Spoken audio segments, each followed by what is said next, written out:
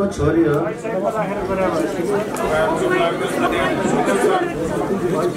हामी हामी भने त्यो किलो तमाकेर हो बस्ने ठाउँ। अनि रूपन्देही जिल्ला। हाम्रो चारवटा छोरी छन्। अनि बाउ चौ म एउटै हो। बुढी छ पाँचजना छन्। कमाउने म एक्लै हो। अनि हाम्रो साइली ठुलो मैले साइली छोरीले बलात्कार केसमा आज दुर्घटना भयो। एक गतेको कुरा हो यो। लगभग पाँच बजेको कुरा हो। पाँच बजे गएको थियो पसलमा छोरीले अनि पसल फर्कँदाखेरि अनि फेरि हामी त्यसको मामाहरू त्यहाँ परि बस्नुहुन्छ हाम्रो घरबारी छ। अनि फेरि खोज्दाखेरि गयो बकाला दोकानमा गयो। अनि दोकानबाट फर्केर आएन। हामी सबै खोज्न लाग्यो चिन्ता भयो। अनि कसरी के भयो भनेर फोन गऱ्यौँ अनि फोनमा पनि छैन उता खोज्न मान्छे पठायो मान्छे पनि भेटिएन अनि हाम्रो साडु दाई हाम्रो घरको छेउमा घर हुनुहुन्छ। ठुलो साडुको छोरा त्यो दिपेन्द्र भन्ने। उसले देखेरहेछ अनि फेरि मौसा मौसा भने फेरि उसले देखेर मलाई फेरि भनेन। आएर चुप्प लागेर आफ्नो घरमा बस्यो अनि फेरि हामी बुढाबुढी छाँटी काट्दै थियौँ भैँसीलाई अनि छाँटी काटेर यसो भयो छोरी फर्केन दोकानमा गएको सामान लिन बजेको।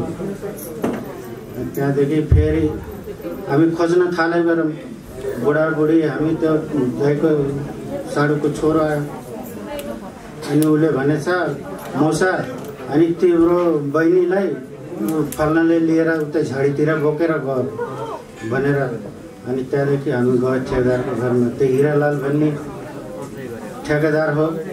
अनि ओम चौधरी भन्ने त्यो ओम नाम हो अब चौधरी हो के हो थाहा भएन। अनि त्यो बलात्कार गरियो। छोरीलाई बोकेर लिएर गयो त्यो बलात्कार गर्ने बेलामा लिएर जाँदाखेरि त्यो हामी दिपेन्द्रले हेर्नु भएछ। अनि त्यहाँदेखि हामी गयो हिरालालको घरमा। दुईजनालाई पुछजाछ गरे तिनीहरू हात जोडे भयो तिमीहरूको पक्षमा हामी लाग्दैनौँ। तिमीहरू जहिले पनि हामीलाई सताउँछौ। होइन सताएको होइन हामी पुछताछ गऱ्यौँ भाइ हाम्रो छोरीलाई हेऱ्यो कि हेरेनौँ भने? हाम्रो सोच्न त्यो भयो।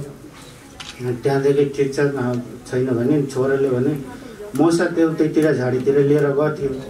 अनि फेरि हामी झाडीतिर लिएर गयो जाँदाखेरि लगभग पाँच चालिस हुनलाई थियो। पाँच चालिसमा त्यो छोरीलाई पुरा बलात्कार गरेर अनि त्यसलाई मारेर मरेर भनेर त्यसलाई छोडेर त्यो मान्छे गएको। अनि चाहिँ गड्डा पनि खने थियो पूर्णलाई छोरीलाई। अनि हामी गएको राति एक्लै गएको खोज्न अनि त्यो छोरा पनि दुईजना छोरी छोरी सरिता सरिता भन्ने चिच्याउँछ गएको। अनि त्यसले बोल्नै नसक्ने यो अगाडिको होट पुरा काटिएछ यहाँ। यो तल आँखाको परालो छैन। सब चेप्दे दुइटा आँखाले हेर्दैन। यो गाल पुरा भएको पुरा एकदम मासुनी छैन।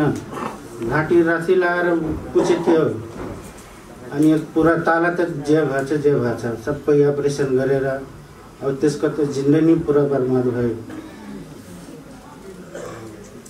हाम्रो चाहिँ लिएर आयो बाबु के भयो? भनेर। यो फल्ना फल्ना ओम चौधरी भन्नेले केटाले मसित गलत काम गर्यो भनेर। यस्तो यस्तो। भयो बाबा।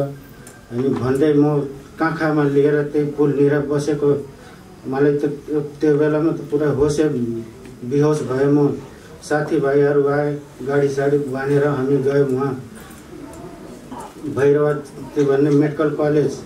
मेडिकल कलेजमा जाँदाखेरि त्यहाँ भर्ना लिएन। फेरि हामी आयौँ उहाँ लुम्बिनी बुटल हस्पिटलमा।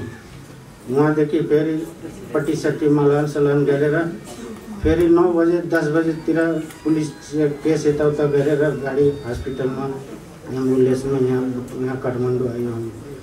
अहिले यहाँ बसेछन् टिचिङ हस्पिटलमा आज बाह्र दिन भयो।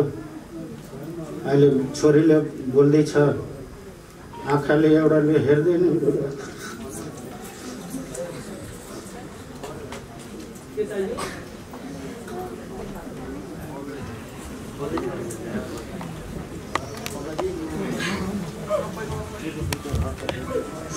माफ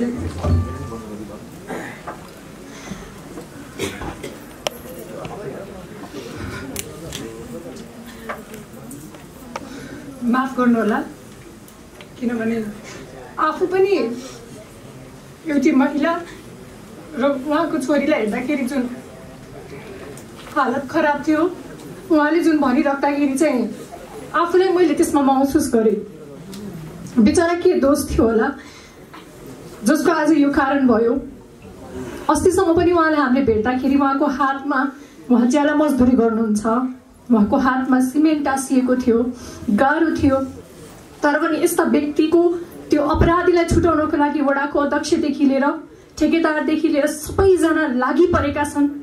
त्यसले गर्दाखेरि चाहिँ उहाँलाई अगाडि आउन पनि दिएको थिएन र उहाँलाई हामी हाम्रो परिषदबाट के बाचा गर्छौँ भने न डराउनुहोस् न तर्सिनुहोस् हामी तत्पर तयार छौँ।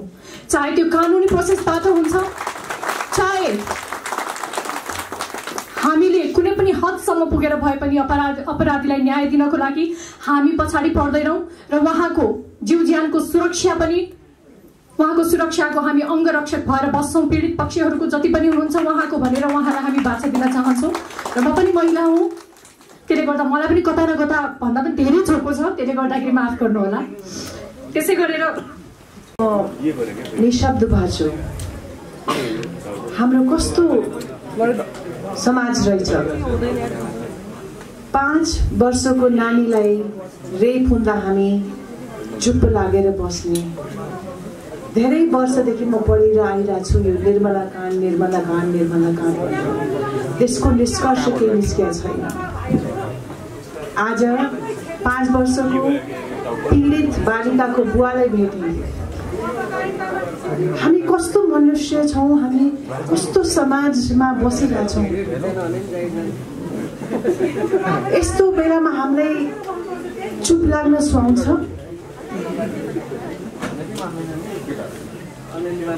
म धेरै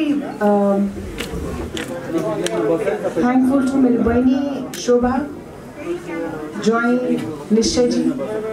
उहाँहरूले यो एउटा यस्तो राम्रो काम लिनुभएको छ हातमा लिनुभएको छ। जब निश्चयजी आउनुभयो मैले भने तपाईँ लाग्नुहोस् म यस्तो काममा जहिले पनि ट्वेन्टी फोर सेभेन तयार छु। मेरो कुन मैले के गर्दाखेरि सहयोग हुन्छ मैले के गर्दाखेरि म सहयोग गर्न सक्छु किनभने म चुप लागेर बस्न सक्दिनँ। यस्तो यस्तो का कुराहरू पढ्दा सुन्दा मेरो असाध्यै असाध्यै म चुप लागेर बस्न सक्दैन यो असाध्यै पीडा हुने कुरा अब हामीले जे गर्नुपर्छ हामीले एउटा प्लान ढङ्गले सिस्टमेटिक ढङ्गले यसलाई जडोदेखि नै हामीले निकाल्नुपर्छ। हामीले प्रयास गर्नुपर्छ अनेस्टली प्रयास गर्नुपर्छ। निश्चय तपाईँको जुन एउटा भिजन छ तपाईँको एउटा जुन सङ्गठन छ तपाईँको एउटा भित्र एउटा काम गर्ने छ हामी सबै जोडेर यसबाट यसमा अगाडि बढौँ हामी।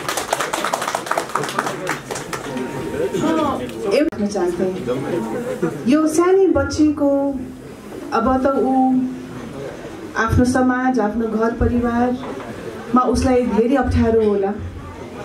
हामीले नै केही सहयोग गर्न सक्छौँ कि? हाम्रो पत्रकार दाजुभाइ तपाईँहरूद्वारा अरूहरूलाई पनि आह्वान गर्न चाहन्छु। हामीले हामी अगाडि कसरी बढ्ने? केही सहयोग पाऊँ कसरी हामीले एकजुट भएर पुरा हामीले चाहिँ नि एउटा उदाहरण राम्रो गरेर देखाउँ। म पनि लाग्छु यसमा कि यो बच्ची भोलि गएर यस्तो स्ट्रङ आइमै बनोस् कि उसले देशको लागि अरू नारीहरूको लागि अरू पुरुषहरूको लागि केही योगदान